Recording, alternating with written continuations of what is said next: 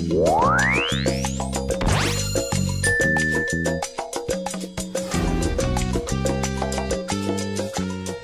primer caso nos llega de manos del señor Juan Díaz, que tiene una inquietud. Él nos pregunta qué hacer ante el cumplimiento del administrador en el ejercicio de sus funciones. ¿Qué pasa cuando un administrador pues este, no entrega al día los, avisos de cobro,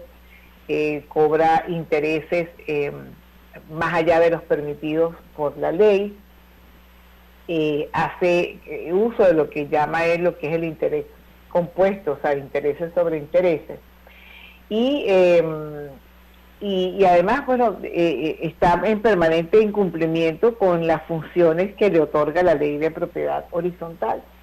¿Cuál sería el mecanismo? ¿A dónde tendrían ellos que acudir para denunciar esas irregularidades? Y además, ¿cuáles serían las recomendaciones que pudiéramos darle para que los copropietarios, pues, en primer lugar, se informen de la situación que existe, se informen de que existe una irregularidad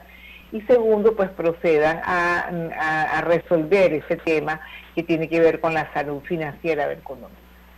Tenemos que partir del principio, señor Juan, que todos los asuntos que tienen que ver con la comunidad de copropietarios tienen que ser decididos por la comunidad. Y lo primero que yo le pudiera decir a usted es que eh, pudiera ser un comité de apoyo, eso que usted mismo ha pensado, un grupo de vecinos que se reunieran a conversar sobre el tema, o sea, no, no reunirse a una casa de brujos, sino a conversar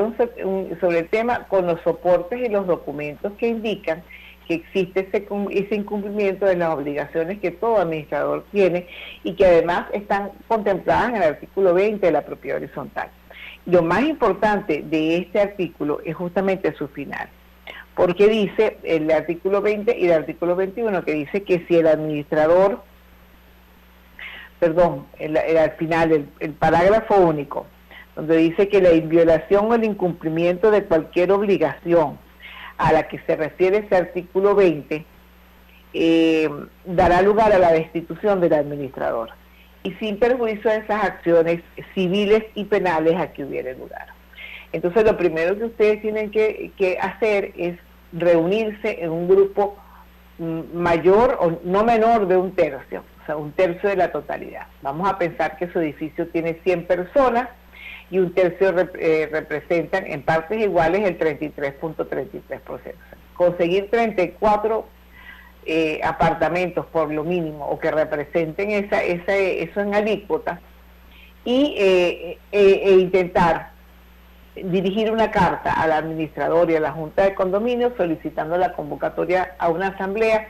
para evaluar sobre la destitución o no de la administración en función del incumplimiento de todas esas cosas que ustedes pudieran ver que estuviera ocurriendo. Si esa destitución no se da, si esa, perdón, si esa, eh, si esa asamblea no es convocada por el administrador o por la Junta de Condominio, en caso que exista Junta de Condominio, eh, usted tiene la opción de poder ir al tribunal de, de municipio de su jurisdicción y pedir que se convoque esa asamblea. Ese es un camino. Pero si además de esos manejos eh, que, constituyen incumplimientos y violaciones a la ley de propiedad horizontal, pudiese existir algún ilícito de tipo penal, eh, porque hay apropiación indebida, hay, hay suficientes eh,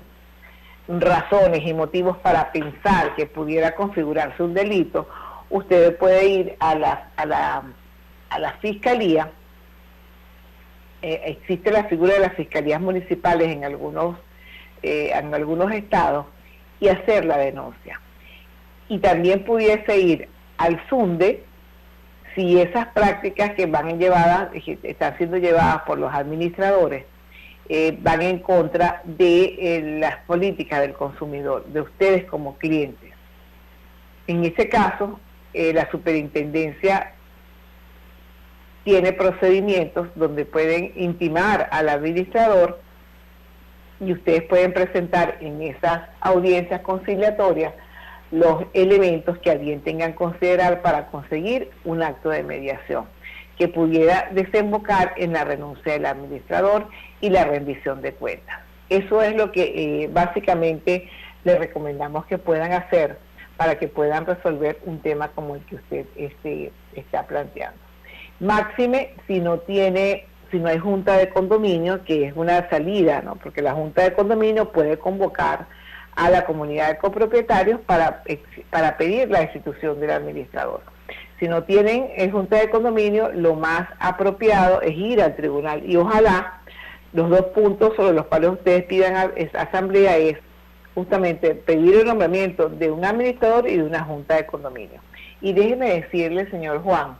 que justamente estas cosas a las cuales este, a veces llegamos con los administradores es porque los propietarios decidimos no querer formar parte de la administración de nuestras comunidades. Entonces creo que el aprendizaje a, tener en casos como estos es que tenemos que estar más pendientes y asumir la responsabilidad y el deber que tenemos como copropietarios de formar parte de la Junta de Condominio para supervisar las labores del administrador. De esta manera nosotros le estamos dando respuestas al señor Juan Díaz, quien nos escribió al servicio público de atención gratuita de micondominio.com.